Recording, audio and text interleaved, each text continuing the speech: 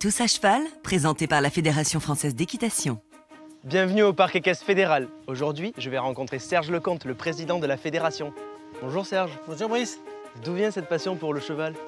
Tout petit, mon grand-père m'a donné sa ponette. Elle a fait des petits, et après, avec les copains, on a fait notre premier club poney. Et ça a été le début de l'aventure. Et pourquoi un parc équestre? Il fallait un bel endroit de nature pour rassembler tous les clubs et se faire se rencontrer tous les cavaliers.